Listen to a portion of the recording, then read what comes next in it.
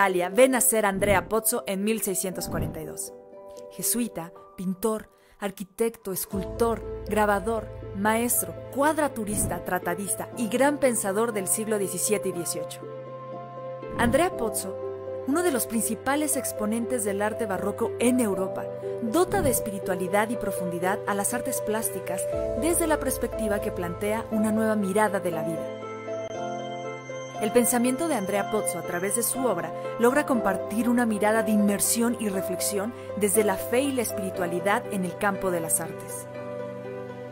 La Galería Andrea Pozzo es un espacio de encuentro entre la comunidad universitaria y las artes, que fomenta la construcción del pensamiento crítico con base en el análisis de la realidad. Esta galería presenta exposiciones de talla nacional e internacional con distintos lenguajes visuales que comunican el pensamiento universitario jesuita como eje de educación y formación con incidencia responsable y social. La Galería Andrea Pozzo es un espacio de apertura para las artes dedicado a la comunidad universitaria.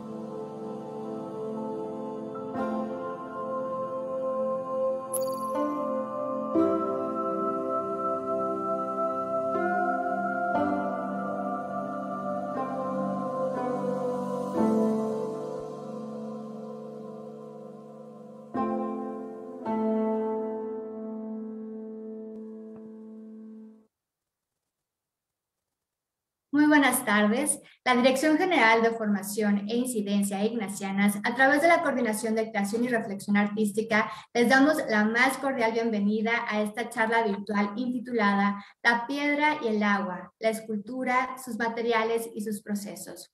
En esta segunda edición de nuestra tercera temporada de Procesos de la Memoria, un acercamiento con artistas desde el oficio, tenemos el gusto de conversar con el artista y escultor Antonio Nava Tirado a quien agradecemos muchísimo su colaboración y entusiasmo para llevar a cabo esta plática, así como agradecemos también el que nos haya abierto sus puertas para adentrarnos un poco más a sus espacios personales, como lo es su taller y estudio. Muchísimas gracias, Antonio, por estar acá con nosotros. También quisiera agradecer a mis compañeros Miguel Ángel Ortiz, jefe de exposiciones y moderador de esta charla, y a Luis Carmona, quien hace posible esta transmisión. Este, les recordamos que estaremos muy al pendiente de sus preguntas, sus aportaciones en la cajita de comentarios de esta publicación. Nos es muy importante poderles leer y poder entablar una conversación directa con ustedes.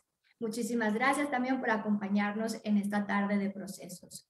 Antes de iniciar, quisiera compartirles un texto que nos hizo llegar el maestro Nava y que tiene como título La vida. Y dice así. Los rayos del sol se ocultaban tras las desnudas o casi desnudas montañas que después de su luz deslumbradora apagaban los colores de la tierra, dejando solo los grises y desvanecidos colores. En los muros de las casas hechas de adobe radiaba el calor impregnado durante el día. Con la ayuda del viento, el viejo pino cantaba su acostumbrada canción de ardor y de lamento. La tierra suelta se levantaba formando orlas que cubrían la transparencia de las calles y las siluetas de los campesinos que regresaban del campo acompañados de sus animales de trabajo, saludando al paso a los vecinos con una voz opaca y sosegada. Conforme pasaba el tiempo, se calmaba el bullicio del día la vida nocturna comenzaba y el silencio se interrumpía con el acostumbrado concierto gutural cuyos protagonistas y elementos lo formaba el diáfano y musical ampancle. Las luciérnagas, pequeñas estrellitas infilando en el escenario de los grillos y sapos que cantaban animando el paso de la noche. La batalla por la subsistencia se olvidaba a pesar de los aullidos del monarca de las llanuras, pero en cuanto se desvanecen las estrellas, los animales se retiraban y la pupila gigante se abría, agradecida de los cantos mundanos y desarticulados de los animales nocturnos. La luz despertaba a la forma y al color. Junto con la frescura de la mañana, el deber esperanzaba su turno. Las articulaciones con el movimiento se ejercitaban, como el fuego que calentaba el grano triturado, convertido, en una masilla que al estar cocida dejaba escapar una pequeña nube que se consumía en el espacio, pero cada mañana regresaba posada en las flores y flotando. El barquillo de madera que la corriente le ayudaba a navegar. Antonio Nava Tirado, grupo 462, salón D4. Muchísimas gracias y bienvenidas y bienvenidos a este Procesos de la Memoria.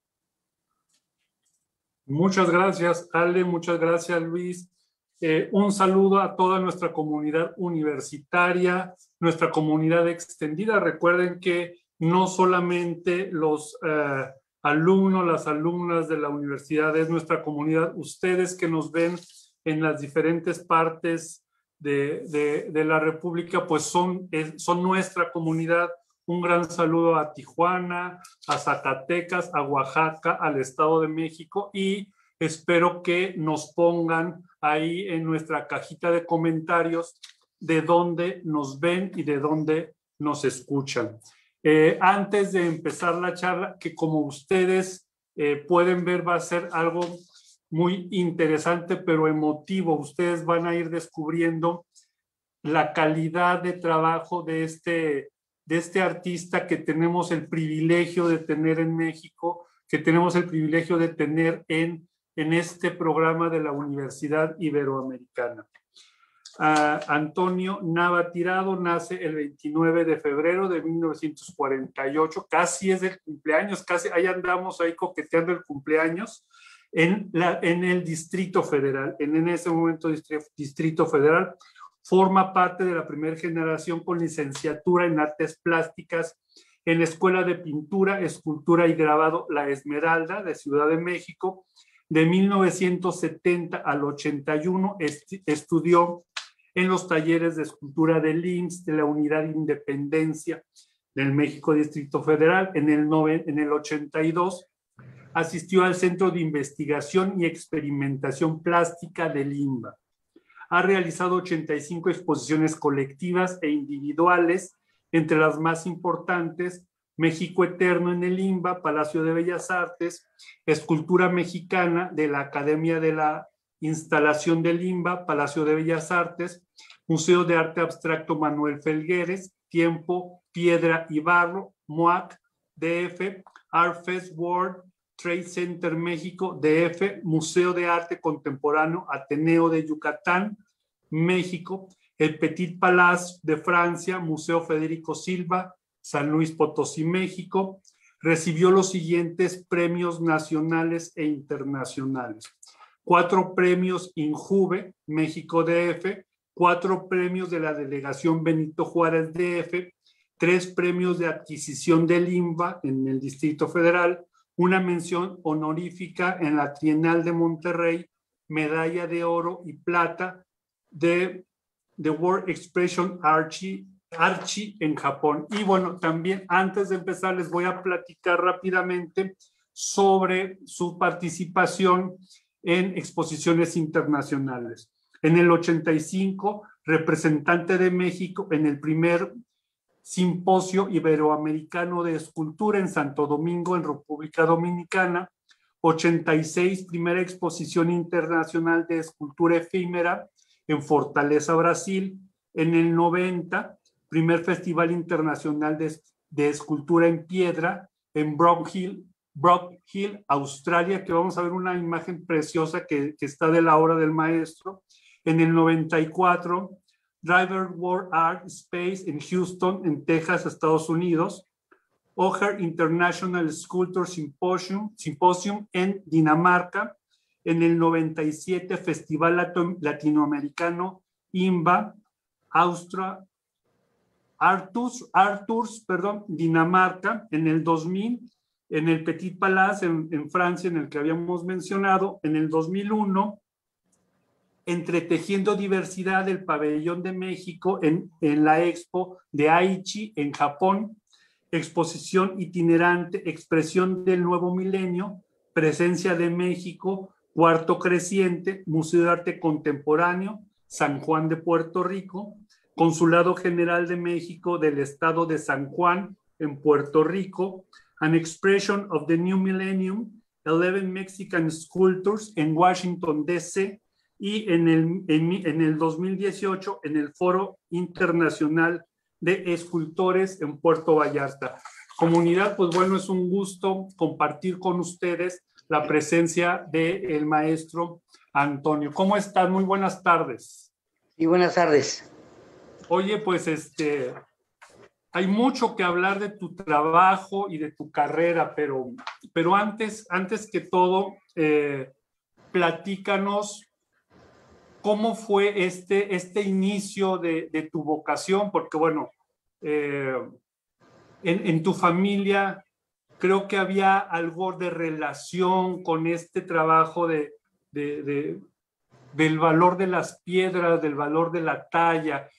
¿Cómo fue tu, tu inicio? Porque bueno, la carta que, que nos compartía Ale, pues es algo, denota una sensibilidad hacia el entorno. Platícanos, ¿cómo llegaste a esta experiencia, a esta vocación artística? Bueno, este, pues empezando, digamos, con el escrito que te acabo de leer, fue una experiencia que yo, este, ya de adulto, en la preparatoria, me hicieron este, escribir este, pues, lo que yo sentía, ¿no? Pues, podía hablar del metro, de la combi, o de la vecindad, o de la colonia, pero me acordé de, pues, las vivencias que tuve en Tehuacán, Puebla, que yo tenía siete años, ocho, y todo okay. eso, y en esa edad, pues lo, lo, lo, este, lo escribí en ese, en ese escrito. Y pues lo que se ve era pura observación que yo tenía de, del entorno que, en donde yo vivía, ¿no? Había toda esa clase de, de, de, de ambiente, ambiente, digamos, de, pues donde yo vivía con, con ciertos animales, con, ya tenía bastantes animales, tenía aves, tenía eh, cerdos, tenía borregos, tenía pájaros, en fin, entonces este, eso pues me da mucha visión del entorno, ¿no? Y después ya vine a México y pues fue otro cambio de, de, pues, de, ambiente, ¿no? Que aquí la, la, ciudad era otro ambiente, ya entré a la escuela adulto en la primaria, a destiempo, ¿no? Digamos a los ocho años que se empieza uno este, a, pues, eh, a estudiar. Y después, pues la escultura siempre me llamó la atención de chico talla bajices, eh, con un alfiler. Me gustaba mucho el volumen, sí. siempre. Los huesos de chabacano, en fin. Y, y por fortuna, no, después fui mecánico automotriz como cinco años, algo así. Empecé a trabajar desde muy, muy este, joven, ¿no? Y después, este, pues encontré la escuela de la Unidad de Independencia, eh, allá por San Jerónimo, y estuve 10 años, eh, pues con un maestro, pues que me tocó estar con él 10 años y él me enseñó mucho él es egresado de la Esmeralda y se llama Saúl Moreno Díaz. Estuve ahí, entonces ahí en esa escuela pues aprendí el oficio, porque no daban, no era una escuela como ahora, ahora es San Carlos, Esmeralda, ¿no? Que dan este, pues bastante, eh, este, pues, eh, materias, ¿no? Que es la fotografía, pintura, grabado, escultura, historia del arte. No, ahí era más, más bien, este, más libre. Y ahí me explayé a aprender los oficios. Aparte que mi padre pues, era una persona que trabajaba en las obras de construcción. Era parte de pues, hacer escaleras, pulir pisos, mm. lambrines. Entonces ahí empecé a, a, familiarizarme con el, con el material que es el cemento. La piedra, pues no, nadie talló en mi familia, ¿no? Siempre era triturada para hacer vaciados en cemento. Pues okay. mostradores, era lo que hacía. Entonces aprendí a pulir la piedra, a vaciarla, a ver el cemento y el, en vivo, ¿no? Y el, y el yeso. Y yo entré con un poco de oficio con el maestro Moreno y ahí estuve 10 años. En ese inter no tenía secundaria, traté de entrar a la Esmeralda, pues me dijo no, ah, todavía no pedían preparatoria, la secundaria, no tenía secundaria, pues tuve que estudiar en la noche, en la nocturna de la secundaria y, este, y luego la prepa. Y ya de, después del 70 al 80 que estuve en la unidad con Saúl Moreno, ya metí a la Esmeralda. Oh. Y ahí, este, ahí fue un poquito hacer menos trabajo porque ya menos tiempo que tenía para la escultura. Ya, Oye, Toño, sí. a ver, platícanos un poco, a mí me gustaría que nos ampliaras esto que tú dices, el oficio, de cómo se cómo aprendiste en la unidad de independencia a hacer que, porque yo creo que eso fue una base con el maestro Moreno. Sí. Para tener más ideas, para crecer, ¿no? Claro, empezó por la página cero, ¿no? Este, hacer okay. un, un cubo de, plastilina, después del cubo sale la pirámide, después un cilindro, se hace el cono, y después del modelo pones un guaje de esos, este, eh, este, natural, un guaje, donde se porta agua, ¿no? Y a modelarlo, después un caracol de mar. Entonces, es ahí una clase de observación, de sensibilidad que tú tienes para modelar, pues, eh, familiarizarte con el barro, que era barro lo que yo trabajaba, con las herramientas, con el yeso, hacer moldes, hacer el molde perdido, que es lo clásico. Es la escuela de la Esmeralda, de aquella época, cuando Zúñiga y toda esa playa ahí, el maestro fue alumno de ellos y él siguió esa escuela y yo entré a esa escuela todavía, ¿no? Entonces ahí aprendí, pues ya con, ya sabía hacer yeso, como fraguaba, hacerlo, pues este, integrarlo a, la figura, hacer moldes, hacer estructuras. Era puro oficio ahí, hacer herramientas. Hacer. sí, claro que yo, por ejemplo, no tenía eh, un sueldo ahí. Entonces yo hacía stickers con, para venderlos con los mismos alumnos. Eh, luego, pues como estaba en la prepa, pues cambiaba eh, un molde por un libro, en fin, así, así me fue formando. Pero ya en Esmeralda cuando entré, ya es otra cosa. Y Esmeralda es eh, otra cosa ya más formal, ¿no? Ya te metes a una carrera donde tienes todas las este, materias de, de, que se llevan ahí. Era pues, el arte, el grabado, el dibujo, la pintura, la escultura, la fundición, que eso pues te, este, te, va formando para que tú decidas a qué, a qué oficio eh, quieres, ¿no? Si pintura, dibujo, grabado. Y yo me a, la, a, la, escultura. Y ahí hice menos trabajos porque era menos tiempo, a pesar de que estaba yo los dos turnos. Entraba yo a las 8 y salía yo a las 10 de la noche en Esmeralda. Igual Oye, ya. Sí. Perdón, ah, platícanos un poco más de esto de la Esmeralda porque, bueno, ahí ya no te concentrabas en el hacer, había todas estas materias que mencionas, pero esto te dio una nueva perspectiva de la escultura, cómo hubo gente que te influyó, los maestros, los compañeros, cómo fue ese ambiente y del 87 eh, que terminaste en adelante, cómo fue, pero primero la Esmeralda, ¿qué pasó en ese entorno? Bueno, antes de Esmeralda en la unidad, yo, este, pues iba yo como a misa, iba yo al Museo de Antropología. ¿Por qué? Llamó la atención eh, mi, cultura mexicana, ¿no? Sobre todo. Entonces iba yo al Museo de Antropología los domingos, no cobraba nada, entonces pues, tenía yo el acceso a entrar de ahí y, y ver toda, todas las salas a, ojo de pájaro y después ya, si me interesaba una sala, la seca, la maya, la olmeca, pues ya me concentraba más en esas formas y acomodé todo, toda la historia un poquito en espacio y tiempo porque yo pensaba que todos sabían el mismo. Entonces eso me dio la pauta para, pues, eh, digamos, eh, eh, observar más mi cultura y, aparte soy un poco pata de perro, me iba a ir a los pueblos cercanos aquí a, la ciudad, como lo es, este, pues, Xochicalco, Teotihuacán, Malinalco, todo eso iba yo y, y, observaba. Y sentía uno, pues, en vivo ver las, ya la zona arqueológica, pues ya, pues no como antes, ¿no? pero ya con el estudio que tú tenías y leer libros, entonces ya te ubicabas pues en su poesía, en su filosofía, en sus técnicas y aparte pues un poco de historia, ¿no? Cómo llegaban aquí los aztecas o los olmecas y vas aprendiendo un poquito de náhuatl leyendo, ¿sí? Yo sé palabras, no sé dialogar con una persona que sabe náhuatl, entonces un poco de palabras eh, leyendo. Y así va uno, y, ya después en Esmeralda, pues eh, estuve ahí, hice un viaje de tres meses al, al, sureste, es donde nació, donde nació el agua, bueno, donde ya vi este, que la piedra pues tiene otro, otro, otro elemento que es la porosidad, ¿sí? La piedra tiene brillo, tiene fuerza, tiene color, tiene dureza, digo, es color, pero otra materia es la porosidad. A ver, vamos a hacer un paréntesis ahí porque eso es muy interesante eh, apreciable comunidad del trabajo del maestro porque eh, hay una constante de, de, sus obras chicas, medianas y grandes, que es esta relación de lo sólido, de la piedra, con el agua. Y eh, platicábamos cuando estábamos preparando la charla de que este viaje, ya no me acuerdo cómo se llamaban esos viajes, ahorita a ver si te acuerdas tú, Toño, de, de los viajes de la Esmeralda, que descubre agua. Platícanos cómo fue este descubrimiento del agua para incorporarlo a tu trabajo.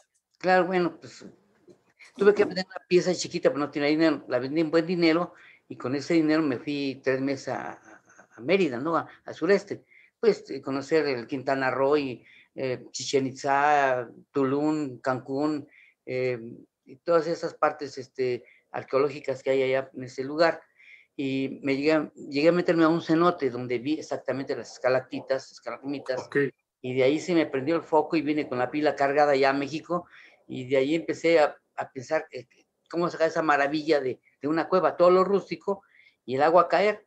Entonces, por eso son mis piezas a veces son muy rústicas, muy, muy, este, sí, rústicas, y, y, incluso la piedra porosa, la obsidiana, son combinaciones que pues yo no las inventé, yo observaba con los prehispánicos que, que, que incrustaban ciertos, ciertas piedras este, preciosas como el jade a, a, una escultura.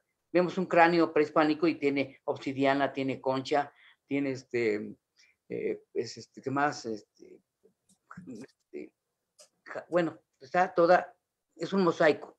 Y okay. así hay muchas piezas. Y hay muchos maestros que siguen, ahora con que, que ponen también ciertos materiales, combinan varios varias, este, metales y todo en mi escultura. Y yo combino la piedra y con metales también. Y los hago funcionar casi en mi escultura, es un poco interactiva. Por ejemplo, estas de agua, hay que inter, intervenir para ponerle agua que siga goteando. Y, y uno calcula el, el, la, este, la, el, goteo que no sea tan, que no sea, que sea una gota con intervalos, este, pues no tan dilatados, más o menos a, a, según la proporción del filtro, ¿no?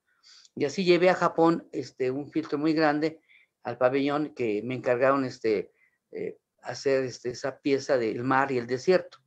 Entonces el filtro era muy grande, que tú, le echaban agua y todo el día goteaba, ¿sí? Ok. Es el mar y el desierto. Una gotita que cae al desierto y después se forma un río, después el mar, puse caracoles, en fin. Y así fue poco a poco, pues, este, pues llenándome de, pues estudiando y leyendo pues, de poesía que me encanta, la poesía prehispánica y, y, la contemporánea, obviamente, pues te llena, te nutre. Y por eso, eh, pues eh, uno se imagina muchas cosas. La persona que no tiene, todos somos sensibles, obviamente, pero no, si no cultivamos nuestra sensibilidad, pues no vas a tener nada. Es como, como siempre les digo, hay que luchar con este pulpo grande que tenemos ahora, de, de pongas esto, eh, si usted no tiene esto, no es aquel, en fin, con esto, esto hay que luchar. Entonces hay que sensibilizarse y no perder esta sensibilidad de nuestra cultura, ¿no? De, nuestro paisaje, de nuestra comida, que es importante. Todo lo obtenemos de la tierra, lo que comemos de la tierra, lo que vestimos de la tierra, y lo que expresamos es también la tierra.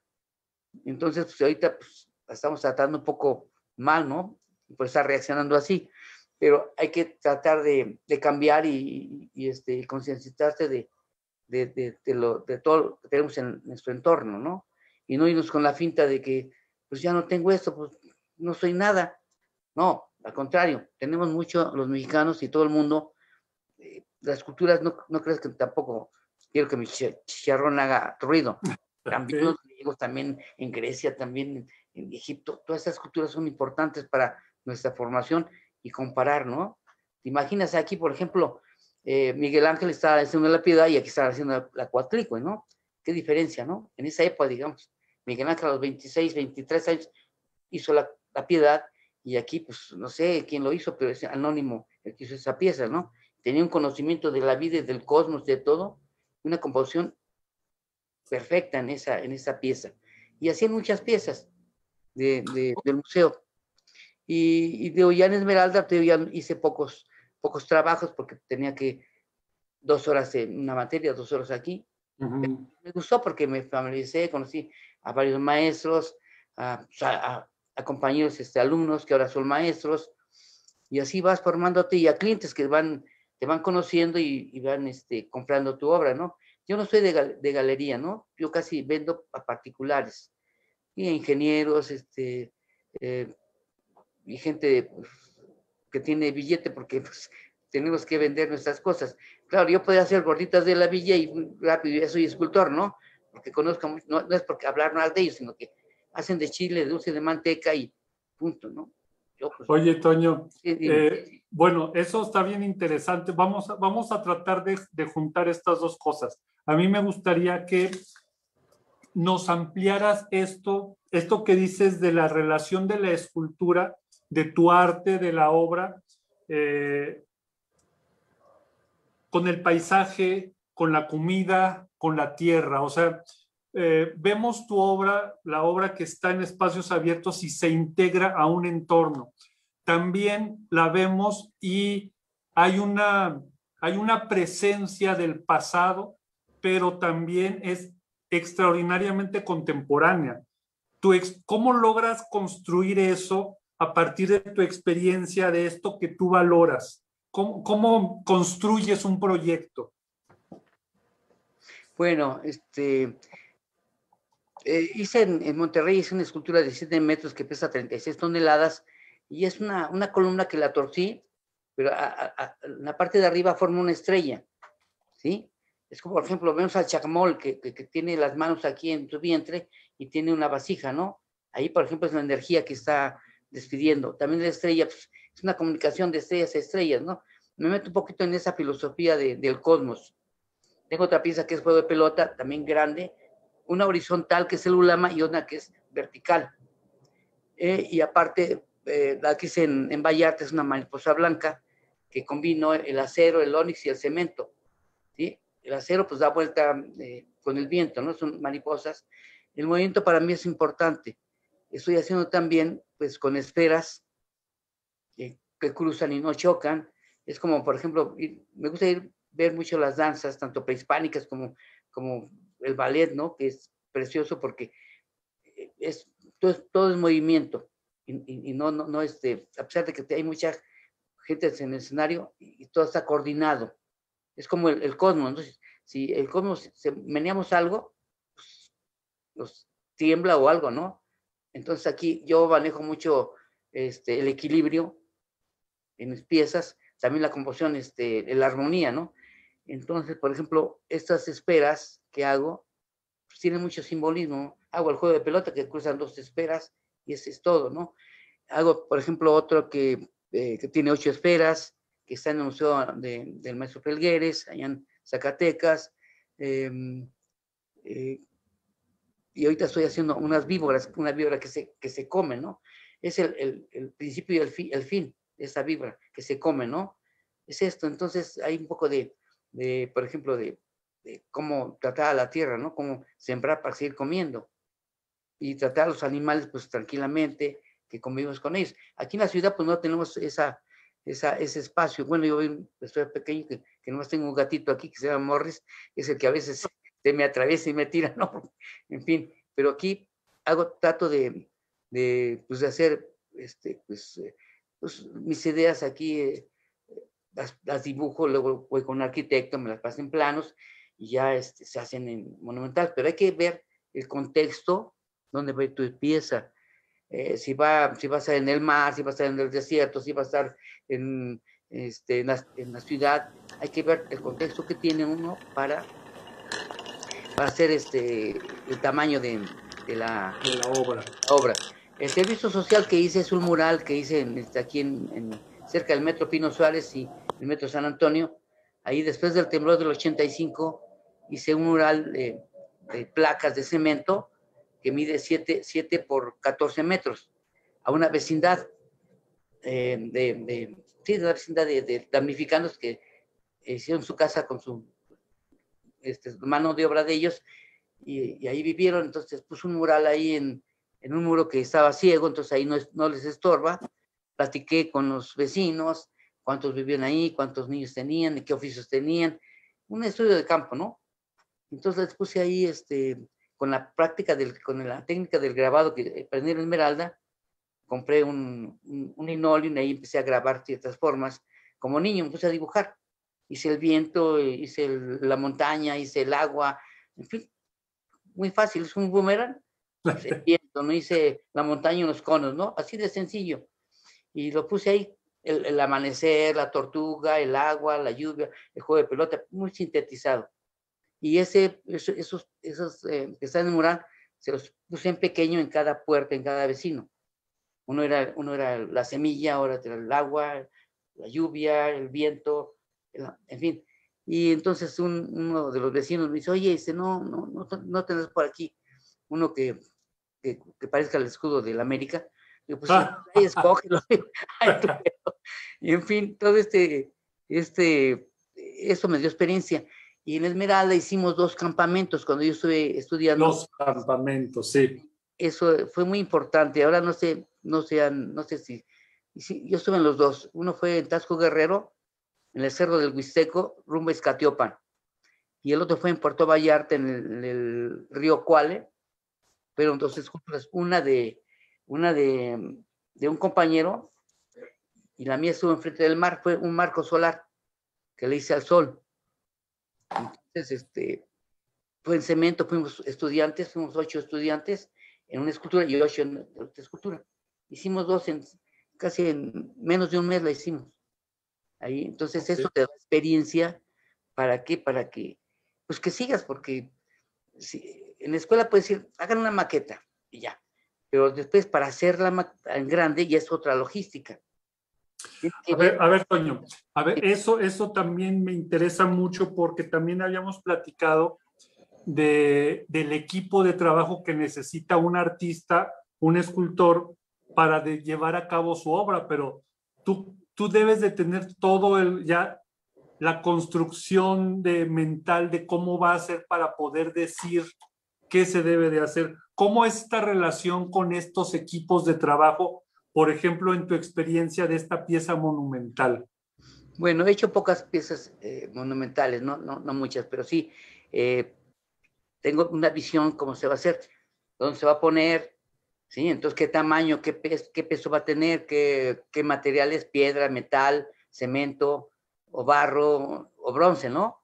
Entonces uno piensa en, en, qué, en qué materiales según el espacio. Entonces ya la mides, haces un, unas este, foto, ¿qué? foto, haces una foto instalación, ¿no? Haces la figura y después la metes ahí para ver toda la proporción que se hace. Y ya la gente que tú tienes, pues tienes que tener un arquitecto, un ingeniero, para que calcule la cimentación, qué varillas va a poner, si es de cemento, el bronce igual, ¿sí? Cómo va a ir estructurado dentro del bronce, eh, la piedra igual, cómo van a ir los sillales que estén amarrados, que no se vayan a, salir, eh, ¿qué más? En, bronce, piedra, en barro, en fin, todo tiene sus bemoles, sus gentes que ayudar, los andamios, eh, eh, cómo transportar la escultura, cómo colocarla, con grúas, ya es, es, otro, es muy emocionante porque ya estás en otro nivel, ¿no? De, de pensar, ¿sí? Por ejemplo, hay, hay escultores contemporáneos que tienen una infraestructura grandísima, tienen grúas, uh -huh. tienen tienen pintores, y en fin, y aparte es importante el, la, el, patrocinio. Si no hay patrocinio, pues no se hace nada, se queda en maqueta, punto. Yo les digo a mis alumnos, cuando hagan una escultura que vaya, vayan a hacer en grande, hagan la maqueta y preséntense al indicado, al que tiene el billete, ¿sí? Para que ya suelte el dinero, porque si le hablamos, fíjate que es una escultura así, así, así, aquí va a ser palabras, se las lleva el viento y ya, qué bonito te dice al principio, entonces ya se perdió, ya no te si Oye, ¿por? Ya dice, ah, es esta maqueta, y ya se las presenta para, en fin, ya se las imagina ya en, en vivo, en pequeño. Ya lo demás es ya, este, pues, eh, trabajarle, buscarle. Albañiles, Oye, ver, canteros. Tu... Sí. Eso también está importante. Bueno, a ver, este, apreciable comunidad, amigos, amigas de, de la Universidad Iberoamericana, ya está un proceso hacen sus investigaciones, hacen su, mateca, ma, este, su maqueta sí. y después a enseñarla. No hay que dejar la obra en el taller guardadita. ¿Cómo, sí. ha sido ese, ¿Cómo ha sido tu experiencia? Porque bueno, si no trabajas con galería, ¿cómo has logrado hacer tantas cosas? Has estado en prácticamente los lugares más importantes de, la generación de esculturas en encuentros, exposiciones. ¿Cómo has gestionado tu experiencia como artista? ¿Cómo has llegado a esto? Bueno, por ejemplo, lo de Vallarta, la última que he hecho, pues me invitaron a un concurso, gané el, el concurso y me invitaron a, este, a, pues presenté el plano, ¿no? Y de ahí, pues, este, eh, la universidad ayudó, ayudó mucho a la universidad, puso el material, el arquitecto y grúas, todo. Yo hice aquí el Onix que va en medio, llegué a Vallarta y, y se colocó con grúas y, y ya se hace, se hace los acabados de la escultura. Pero todo el mundo ha ido a la universidad a ocho escultores en, en acero inoxidable y en cemento.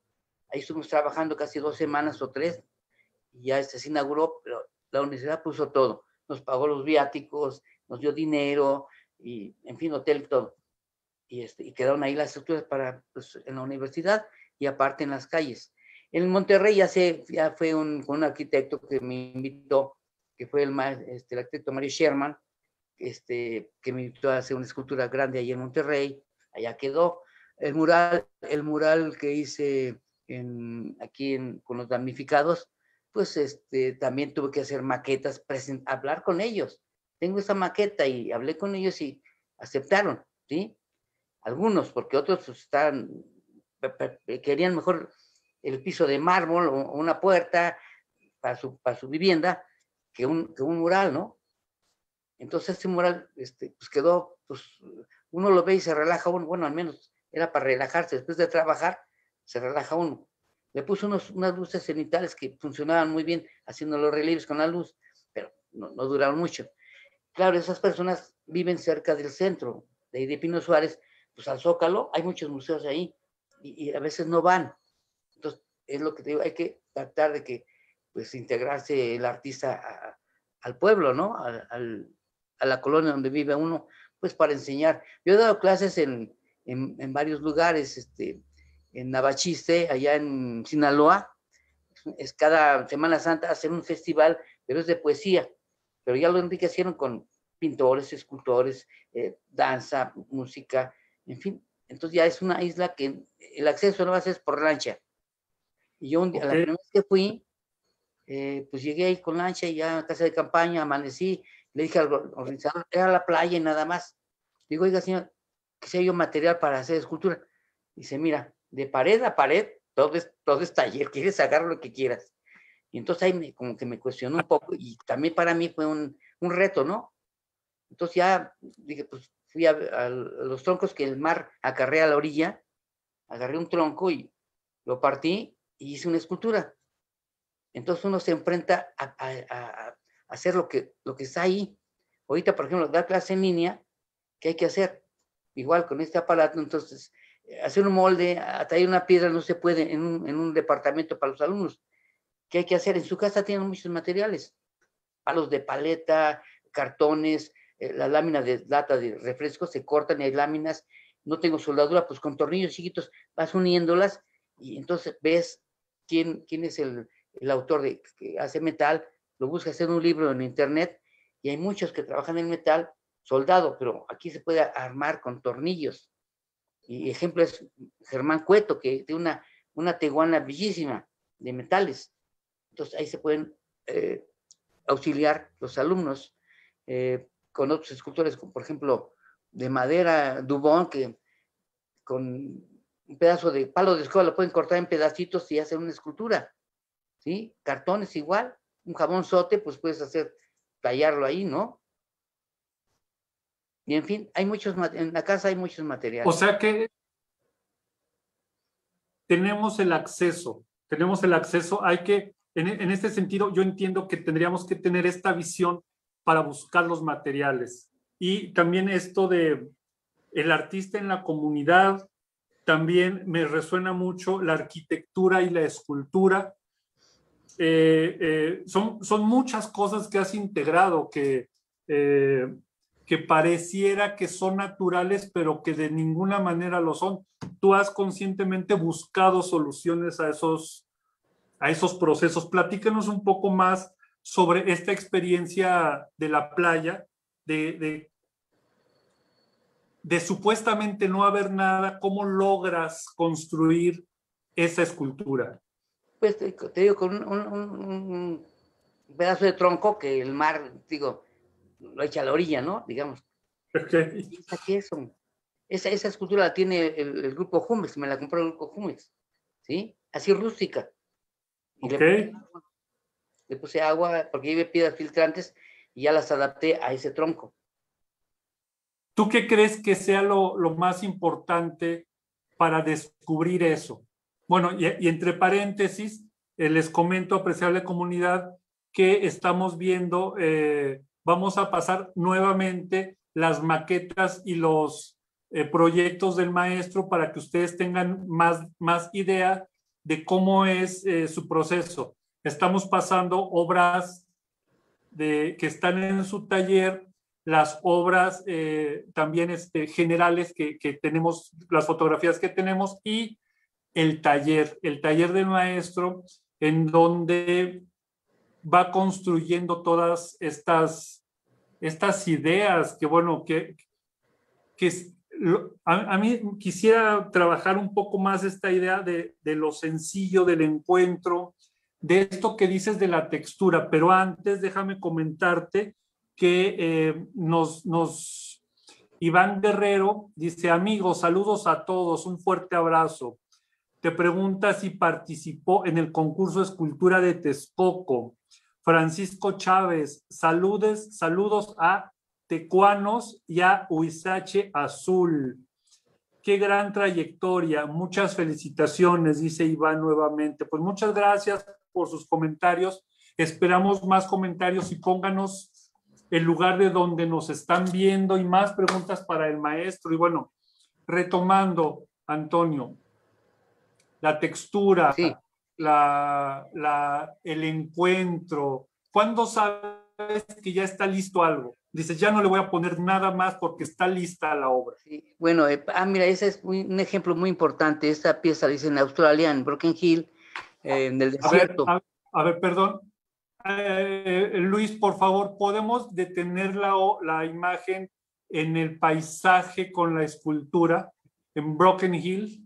Sí, la que le... A ver, yo te voy diciendo, para que el maestro nos platique cómo fue ese proceso, esa. Ahí que, detente un momento, por favor. Pues eh, me invitaron, este, por, por, medio de Bellas Artes, me invitaron a ir a Broken Hill. Es muy largo de contar, pero llegué a Broken Hill con otro mexicano y, este, y llegaron escultores de, de, de, eh, de Rusia y de, Siria, aborígenes de, allá de, australianos y ingleses. Éramos como 12 y cada uno tenía, ya las piezas estaban colocadas ahí, las llevaron y las colocaron. Duró un año para llegar a, llegar a ese simposio. Entonces ya llegamos, estaban las piezas ahí y entonces pues este, los, este, nos dejaron a los aborígenes de allá y a los aborígenes mexicanos en el pueblo de Broken King y se ponen a escoger su piedra, ¿no? Nosotros, a ver cuál estaba más blandita y les gustaba. Después ya cuando llegamos, ya pues quiero esta, pues no, ya tiene un nombre, ¿no? En fin, me, tocó esta, para allá. Entonces, al otro día que amaneció, ya estaban tallando los rusos y los, este, los ingleses su piedra, ¿no? Y dije, esta piedra era más dura, por eso no la escogieron. Dije, pues, ¿qué voy a hacer aquí?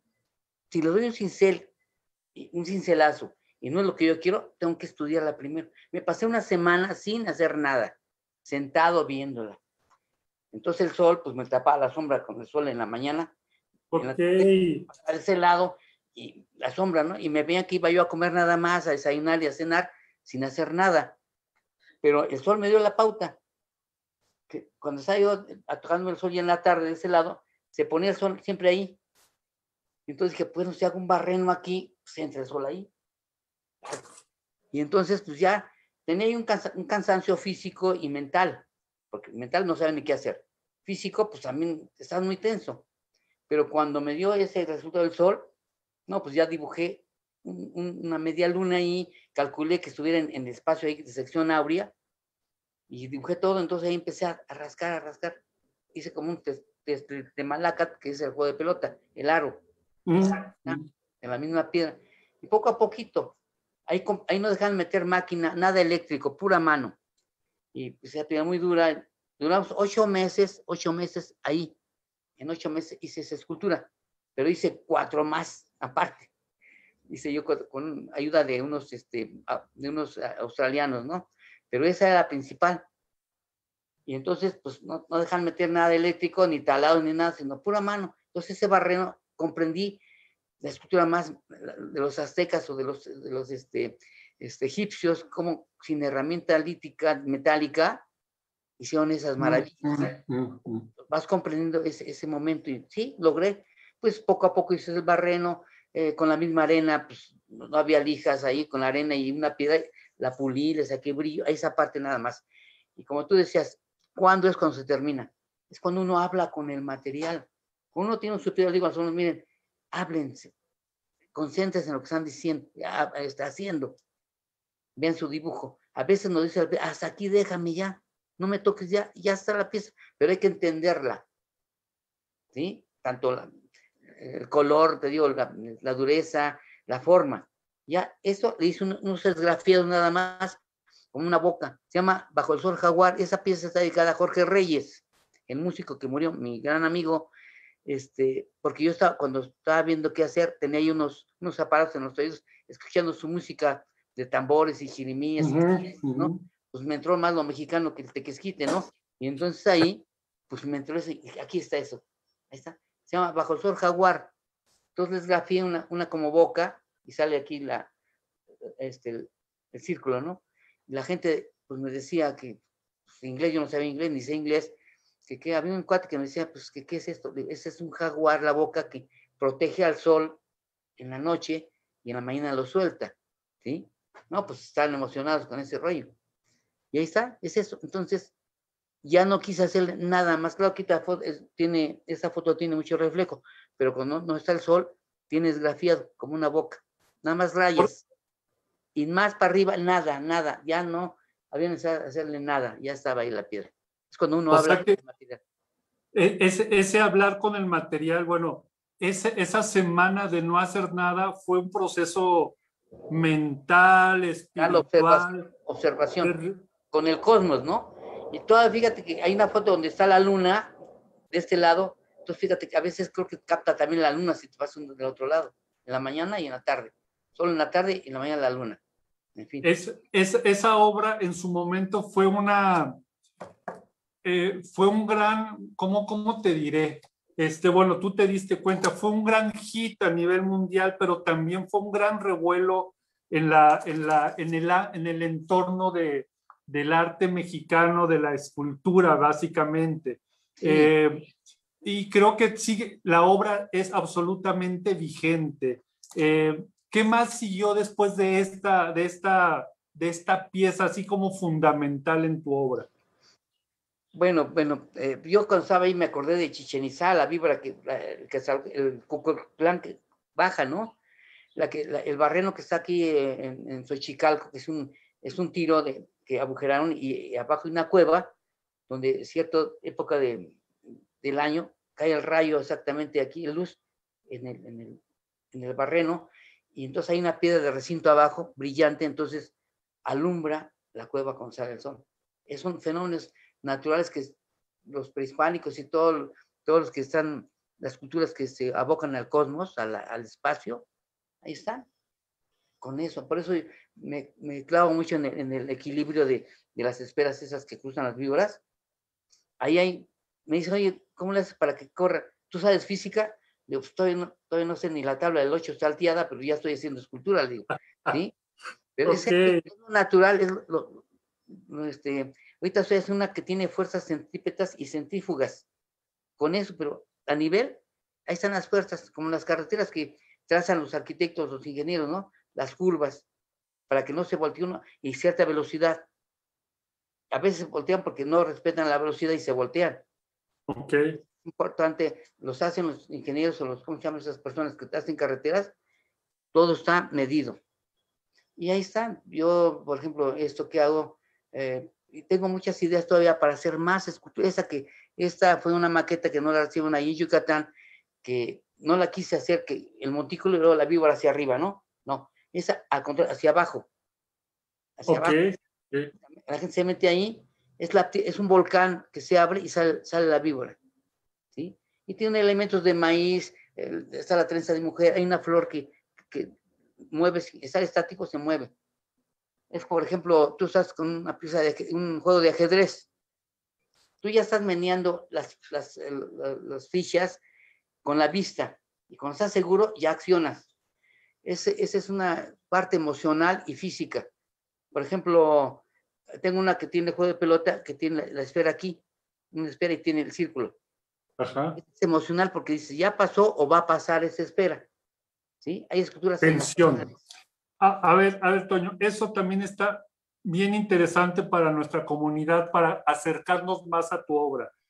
En tu obra hay mucha tensión, hay tensión de materiales, lo fluido, lo sólido. Eh, también trabajo con el fuego, ¿eh? El fuego y el hielo.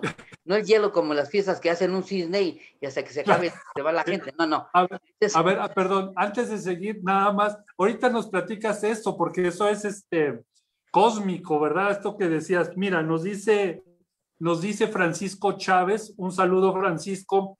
Somos tierra. Me encantó la frase. Gracias por estar aquí. Eh, Francisco, Iván Guerrero dice a la izquierda del colibrí, supongo que es el, disco de, de, tu amigo. Eh, de Blanca Barrón dice, wow, qué bello, bajo el sol jaguar, muy espiritual. Gracias Blanca por estar con nosotros y bueno. Hay una pieza que, que, dice una frase Jorge Reyes o parece que estuvo tocando con Antonio Cepeda. Ajá que dicen, este, estoy tan acostumbrado a estar vivo que ni cuenta me di cuando me volví sopilote. Ajá, ajá, En un disco, no sé qué disco sale, es esto. Entonces, así, por ejemplo, yo agarro, eh, bueno, he leído poemas y, eh, por ejemplo, a Gloria, que es de Díaz Mirón, hago, hice dos esculturas, ¿sí? Leo poemas, leo poemas prehispánicos y me, llegan, ¿sí? Entonces, cuando me empiezo a, a, a ver. estar nervioso y hacer escultura.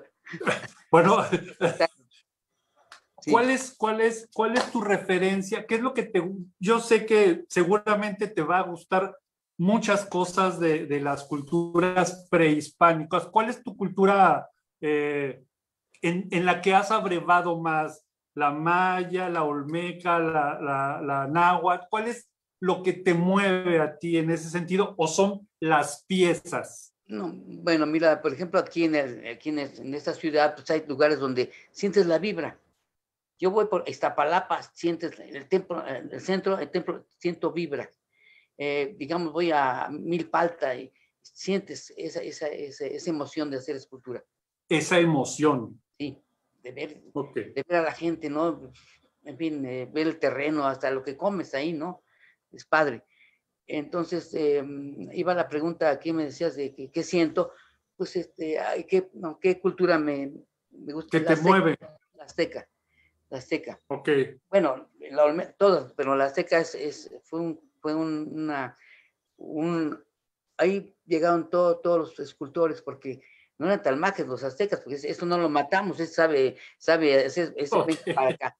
Y este es arquitecto, este es astrónomo, este es poeta, ¿sí? Hay una leyenda, bueno, leyenda eh, fue real de Tlahuicol, el, el, de ahí de, de, de, ¿cómo se llama? De, de Tlaxcala, ¿no? Es un guerrero grandísimo que luchó contra varios y le dan la libertad ahí a, él. Pero hay varias versiones. Después se convirtió en, pues, en un jefe de guerreros, ¿no? Hay varias versiones. Entonces, los poetas, bueno, Nezahualcóyotl y esa parte de, de, de, de, eh, de ahí de mm, Texcoco para allá, digamos a Huejotzingo, Puebla, Calpan, está llena de poetas prehispánicos. Entonces, yo iba a la sala fulana en antropología, cada sala tiene un poema bellísimo. Se aprendí, ya, ya no he ido, pero este, sé algunos poemas, entonces eso me emociona a mí. Eh, y yo, pues, mi familia viene siendo de otomí, mi abuela hablaba otomí.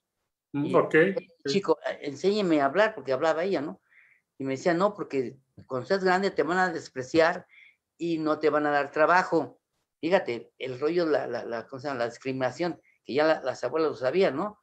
Y no te lo influencian porque te van a, te van a despreciar.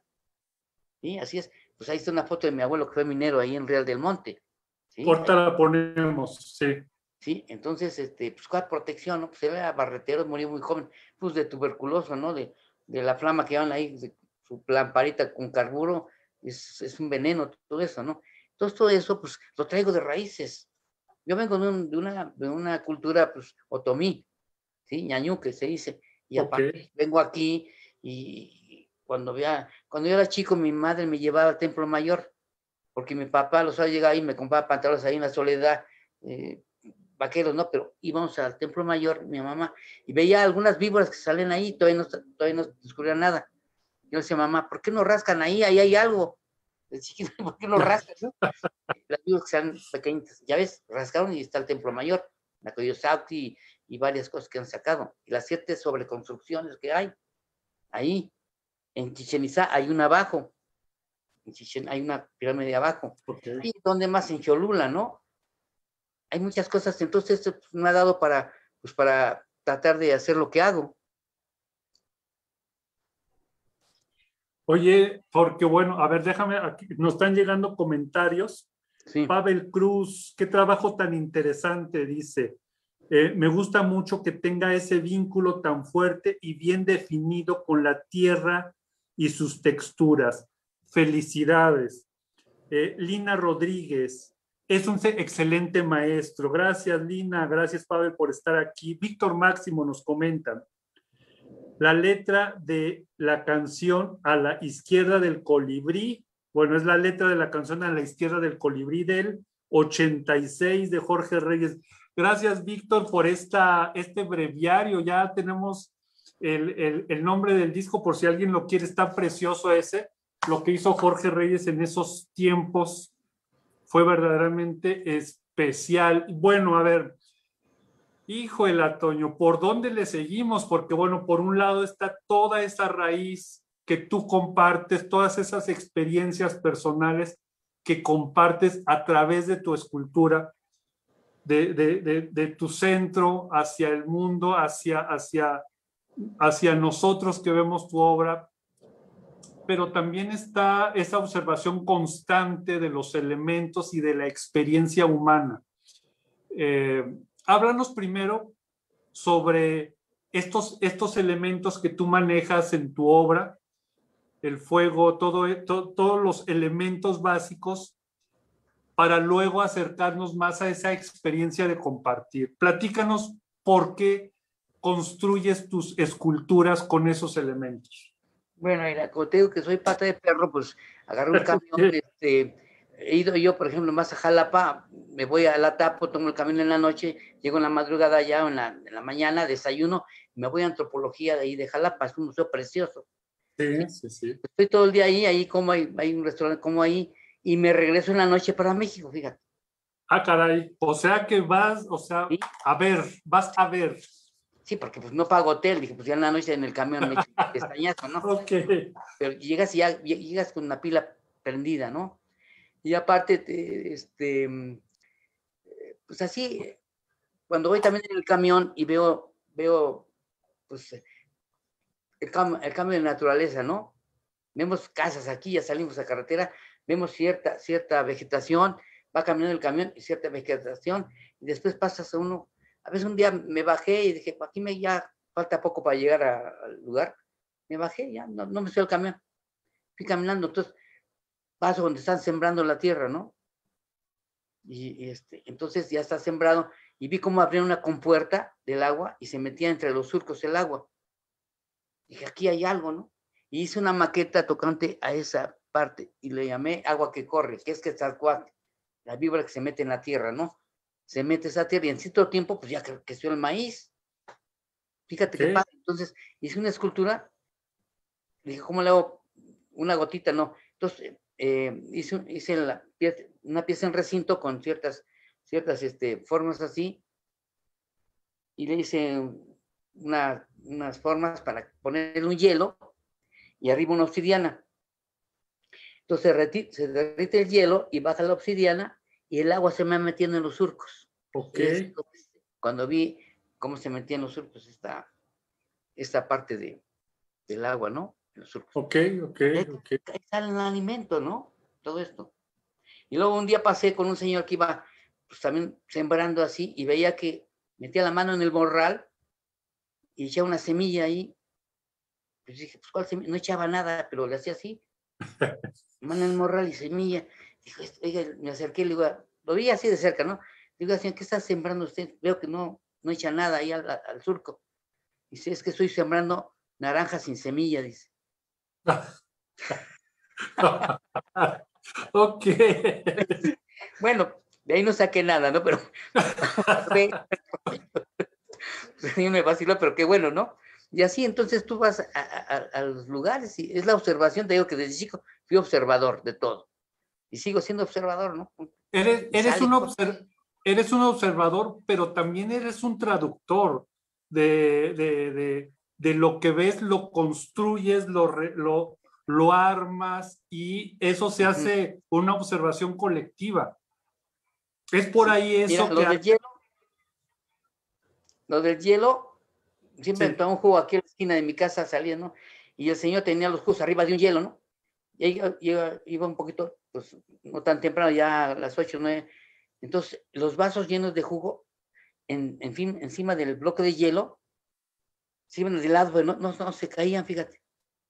No se caían, porque se iba derritiendo el hielo, tocando, hay partes duras, partes más blanditas, y ahí va. Uh -huh. Lo del hielo. Y después dice un homenaje a mi abuela, el Muicle, que mi tía, me, mi abuela me da un, té que se llama Muicle, que es rosita.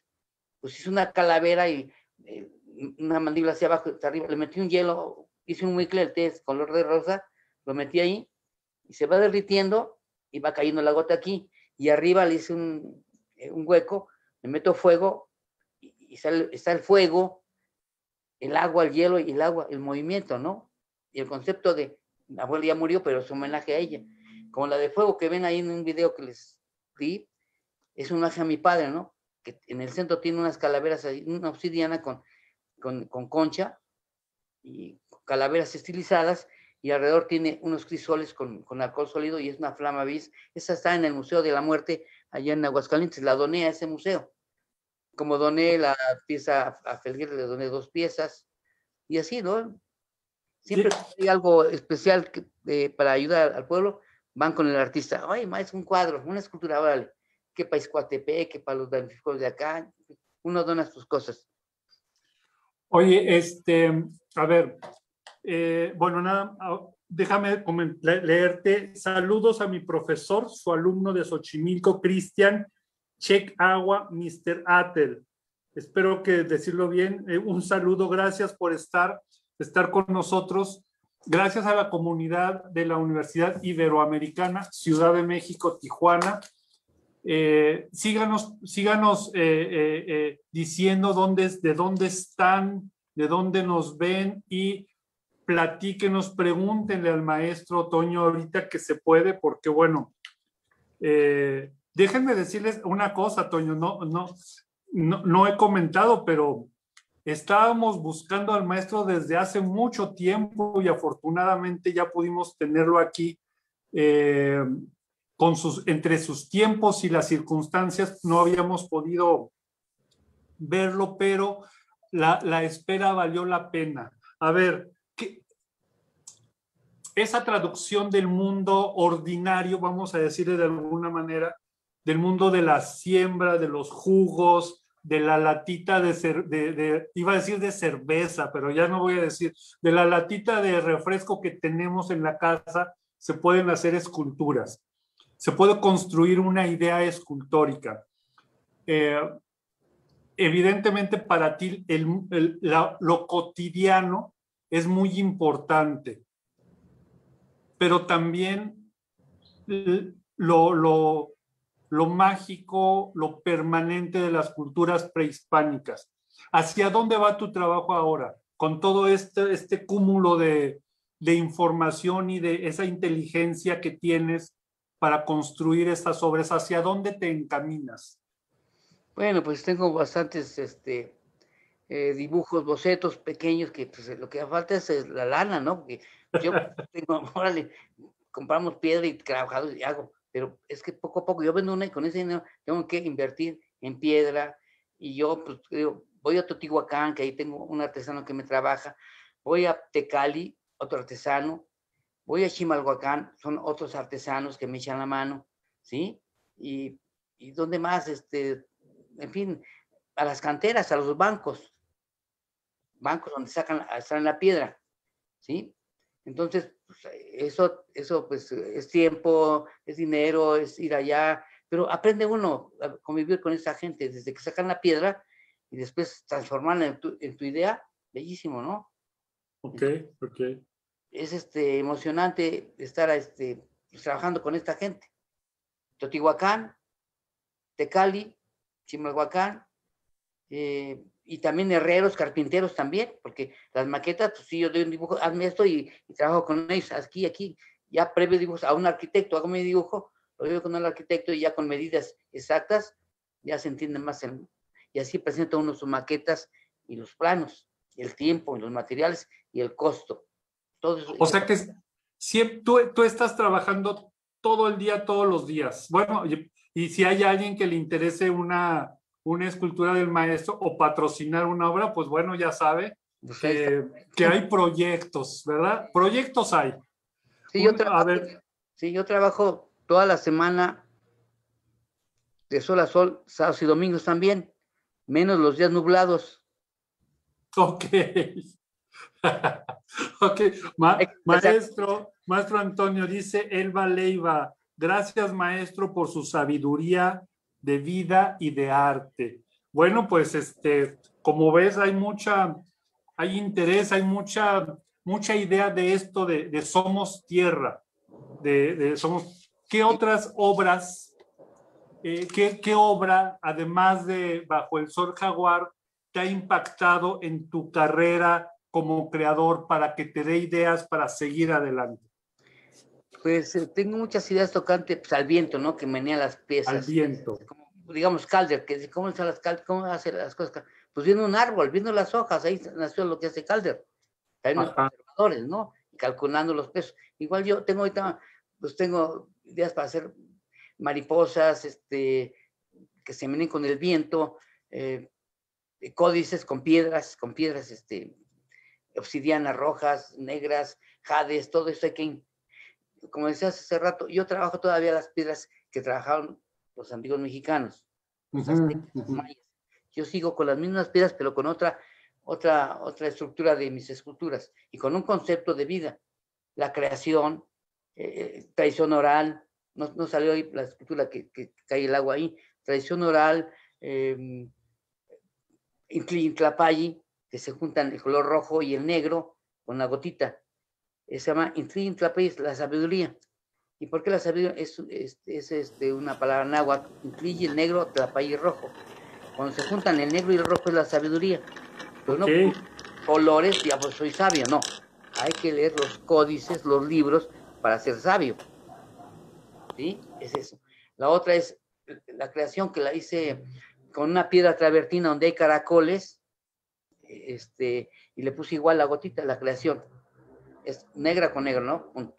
Esa está opción de arte moderno.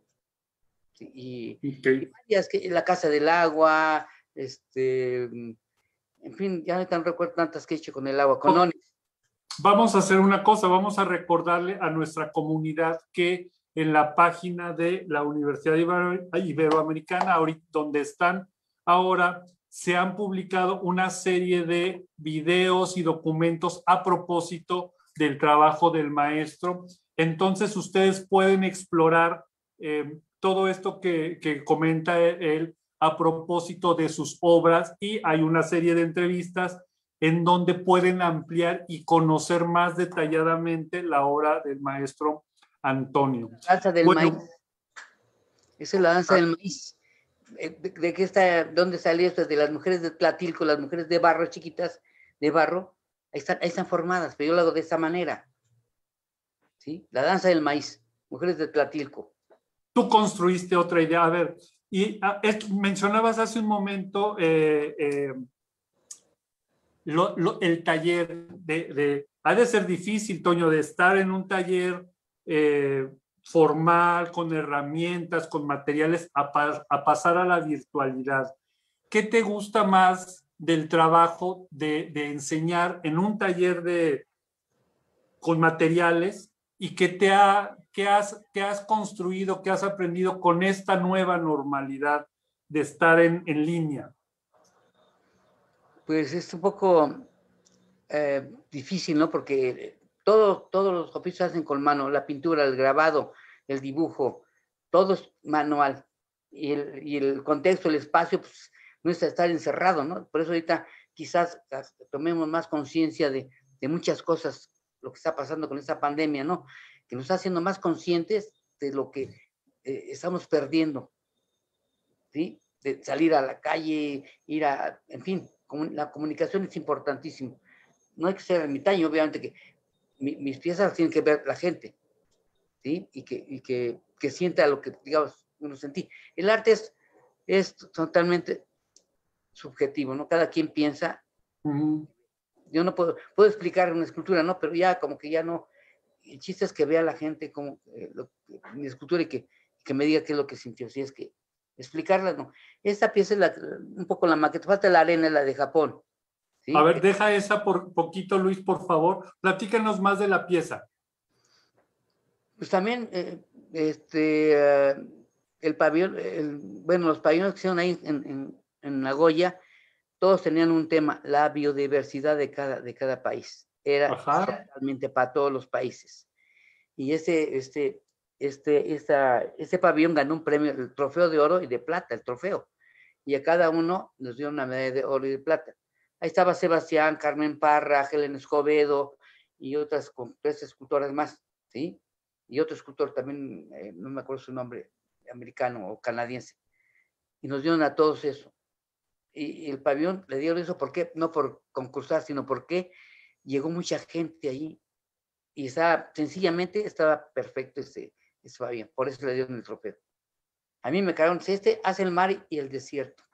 Me dieron el plano así, casi la, columna vertebral de todo, de todo el pabellón y se me bajaron los de jaleta, man. ¿Qué voy a hacer? ok. Entonces, este, me fui a caminar a la calle, ¿no? Dije, pues, despejarme. Y en un camellón encontré esas varitas que ven ahí, las corté, le eché al morral y, ya, entonces ya pensé, me fui con el carpintero para que me hiciera esto, ¿sí? Y, y este, este filtrito es pequeñísimo, como dos centímetros vive ese filtro. y, y es de cerámica. Le puse agua cuando, López, cuando lo vio López Guerra, el arquitecto que hizo el, acuario allá en, este, en Veracruz. Dice, dice, oye, esto, ¿dónde está, dónde está la llave? ¿Dónde está la manguera? No, es natural. Dice, bueno, tú vas, dale. Punto. Hicieron hacer huecas las piedras porque no tenían mucho peso en ese lugar. Entonces, con una luz, este, ¿cómo se llama? Esta luz, ¿cómo se llama? no, de línea, una luz bellísima. Entonces le daba al onix y se veía precioso. Y rematé, querían puras piedras, le dije, pero ¿cómo puras piedras? Entonces hice cuatro caracoles, así, formándose uno así, otro por acá, otro por acá, hasta llegar a un Autilius. Y eso fue mi, concepto. Y, ahora veo que es una instalación. Ahorita estoy haciendo esta víbora, estoy haciendo el chamol. Ahí está la medalla que, que nos dieron allá a, ver, a ver, vamos a, a ver, platícanos de la medalla para después ver el chacmol. Pues ya la empeñé tres veces, mano, porque este. bueno, ya la tengo, ya la saqué del empeño, pero, ahí está, este, pues ahí estamos todos los, eh, los este, escultores y que fuimos allá, artistas, ¿no? Ok. Parra hizo, pues, este, uh, ¿qué hizo? No me acuerdo encapsuló unas este, insectos en, resina, otro hizo unas penas con, con mazorcas de maíz, eh, Helen Escobedo hizo una estructura, le puso puras hojas, en fin, toda la biodiversidad de México. A mí el, desierto y el mar. Y había con poemas bellísimos alrededor de, todo el pabellón, ¿no? Y la fachada fue excelente, bellísima. eran tres fachadas a la vez. En la noche, en el día, en fin. No, muy padre. Japón, esas ciudades son importantes. Eh, Australia, me encantó Australia, Copenhague, muy disciplinados y muy ordenados, man. En, Platícanos de tu experiencia en Copenhague. ¿Qué pieza llevaste? Bueno, ahí tallé, madera la primera vez, en Oger. Ok. En una semana nos dieron un tronco de, un tronco de, eh, digamos, un árbol especial que hay ahí, de dos metros por 50 diámetros, a todos, en zigzag. Y una semana nos dio una motosierra y a darle. Y sí terminamos, también con agua, le puse agua ahí. Y una obsidiana llevé. Y en el otro, en el otro viaje que hice fue de metal. Iba yo a tallar piedra, pero allá son los países así que están lisos, no hay montañas, no hay mucho material es exportado. El viento te agarra un viento ahí, te lleva con tu bicicleta donde vas. Pero ahí hice chatarra perdí una semana porque andaban buscando la piedra, pero dije, bueno, llévenme una chatarra. Y encontré una vigueta ideal de mi idea y hicimos una condensación oxidable y puse una opción arriba. ¿Sí? Entonces quedó ahí en la escuela, en, en ese lugar. Y entonces digo, pues tienen que ayudarme unos daneses bien enmaizados, bien fuertes. Entonces, pues ayúdenme porque ya perdí una semana. Sí, me dio una soldada y todo. Quedamos bien ahí. Ok, bueno.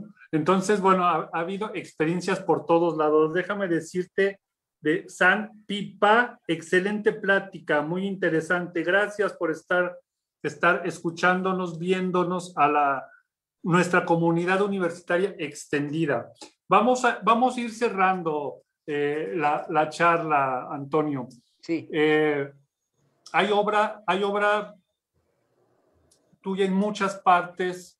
Eh, hay obra en donación en museos, obra, obra ah, en espacios comunitarios, pero me sigue, me sigue esta duda de cómo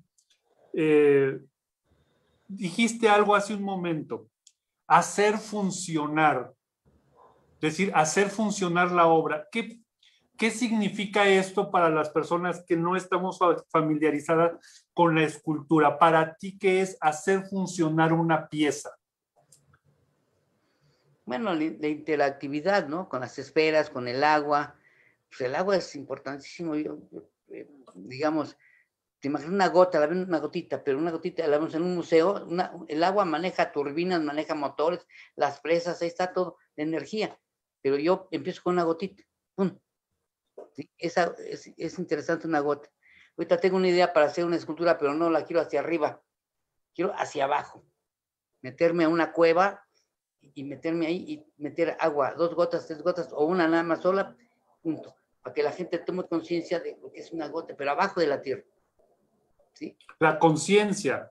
Tu, obra es para, evidentemente por, por, lo que platicas y por lo que las personas han comentado, las personas que nos han escrito, es una obra que puedo decirle que es espiritual, que no solamente es material, que está compartiendo más. Dime, dime.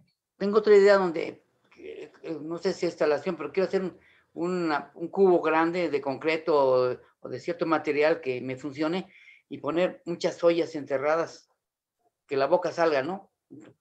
Y ahí puedes gritar, cantar, llorar, ¿sí? Platicar. Entonces, se llama dialogar con tu propio corazón.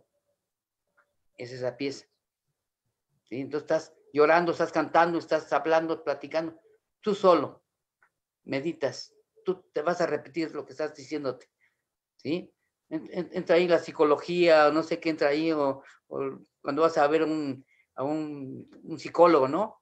Tú mismo vas a ser tu psicólogo. E, echarle, echarle grito a la, a la tierra. Sí. Es un, es un grito a la tierra. Bueno, yo al menos, ¿no? Yo soy una espina de esa nopalera todavía, ¿no? Nuestra cultura no ha muerto, no ha muerto nuestra cultura. Sigue todavía. ¿Sí? Hay pocos que tallan piedra. Muchos se van por la instalación, por, por el arte conceptual, por el metal, en fin. Eh, yo, la piedra que está, me gusta el metal y voy a hacer ahora, quizás eh, vieron los sonidos que van a ver ahí, quiero eh, encontrarme un cuate que, una persona de oficio que me haga en acero oxidable y le pongo la piedra, la obsidiana y, los conos de oro, ¿sí?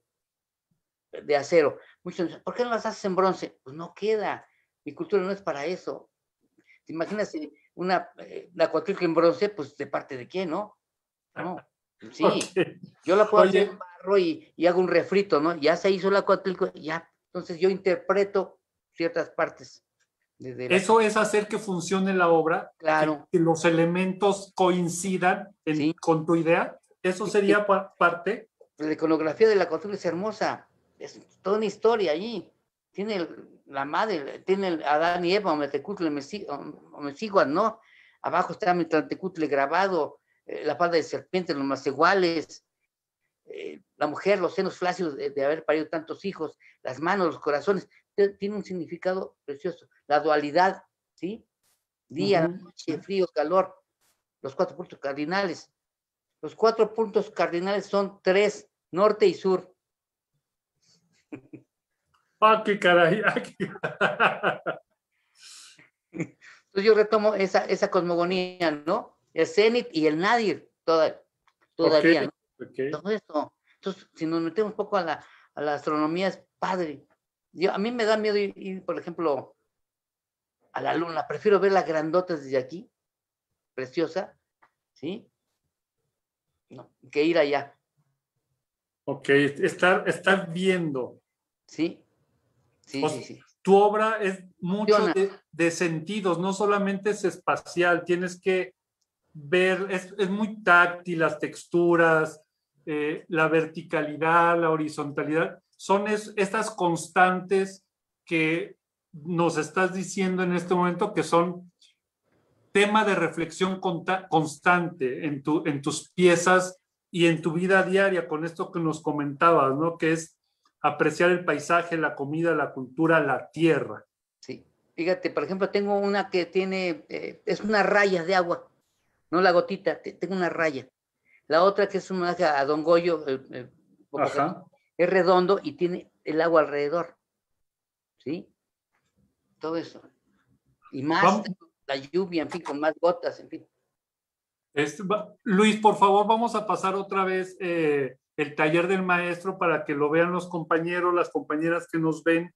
Dice Francisco Chávez, eh, ¿será la, escultura el lenguaje en común que tenía el ser humano cuando construían la Torre de Babel? Wow, Francisco, bueno, pues ahí está, dejamos esa, esa, esa pregunta al aire. También Blanca nos comenta, me gustaría ver más obra del maestro. Blanca, por favor, visita, visita el, espacio de, la Ibero en el Facebook. Ahí hay más, eh, eh, más eh, documentales, más obra. Y ahorita vamos a estar pasando. Y también hay, hay, obra en varios lugares. Tienes dos piezas en, nos decías, en el Museo de la Muerte, en Aguascalientes. En arte moderno tengo tres, este, en, en Monterrey también tengo, me la compró el museo, la tradición oral. Ahí cuando concursé, me compraron las piezas. El museo me compró una, dos, perdón. ¿Tienes en, el Museo Tamayo? Tamayo, Tamayo, no, no, no. ¿Por amor a Chiapas? Bueno, esas son donaciones. Ah, amor a Chiapas, no, creo que son donaciones. Ok, ok, entonces. Es en el Museo Tamayo, allá en, el museo, en la Escuela Tamayo, allá en Oaxaca. Ok. O sea, tienes obras, además de que tienes en gran parte de, del mundo, en, muchos, en muchas ciudades importantes, tienes en muchas ciudades y museos en México. ¿Cómo, cómo, cuál es este, ya para, ya para, ya para cerrar, cuál sería esta, eh, eh, te pregunto otra vez esto, porque sí es importante, me gustaría que nos comentaras tus proyectos, qué haces ordinariamente en tu taller para construir todas estas ideas que tienes. ¿Haces esculturas, escribes, lees?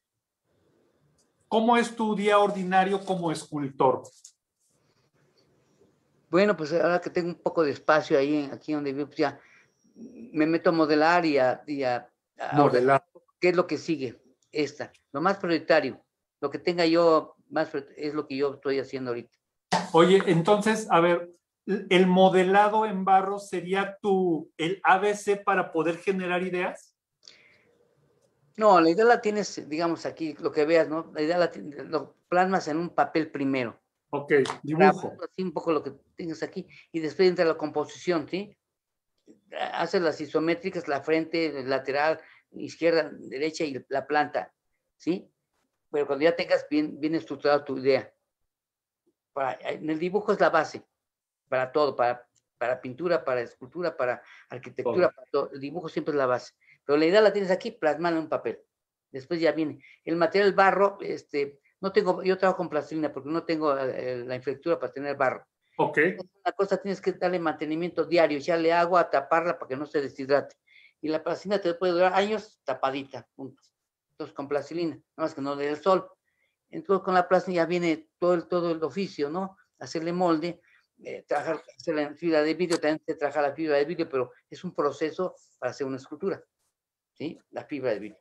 Hay piezas que se pueden hacer de fibra de vidrio y usar al exterior, ¿sí? Pero es parte de mis cosas. Yo hago más bien piedra, eh, bronce, poco bronce, y este, pues más bien la piedra, ¿sí?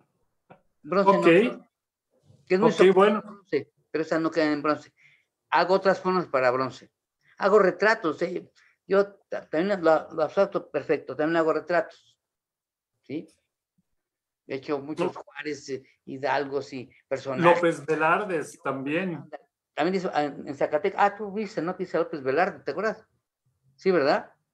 Bueno, este, esta de. Hice una serie de retratos ahí en la Unión de Independencia y, yo agarré de modelos al barrendero, al policía, viste más de, de, fuerzas que de ganas porque me da la llave para trabajar. Entonces, don Roberto, allá sí, me vas a dejar mi casa, perfecto. Yo cerraba el taller, me daba chance de trabajar los domingos y los sábados. Y era un negrero trabajando, ¿eh? Negrero. Ok. Le digo, todos los días de sol a sol, ¿no? Bueno, de sol a sol, menos cuando está nublado, pues. Antonio, Antonio Nava Tirado, eh, ha sido una conversación verdaderamente estupenda. Muchas gracias por compartir con la comunidad de la Universidad Iberoamericana ese conocimiento y tu obra. Ha sido, eh, ha sido muy especial por varios motivos. Primero porque, bueno, estás presente y, algunas veces no nos damos cuenta de la obra de los artistas, pero estás presente a través de tu obra, pero también esa obra es una reflexión que nos hace cuestionarnos nuestra relación con la tierra, que nos hace cuestionarnos la relación con lo ordinario y eso me parece que es algo estupendo eh, muchas gracias por estar contigo. Yo me quedaría eh, en ese sentido eh, con, con, dos, con dos frases que tú has comentado, que es dialogar con tu propio corazón y somos tierra. Un agradecimiento a, a, Jorge Prior por una serie de imágenes que salieron aquí en esta, en esta charla. Toño, algo que quieras comentar para cerrar la charla.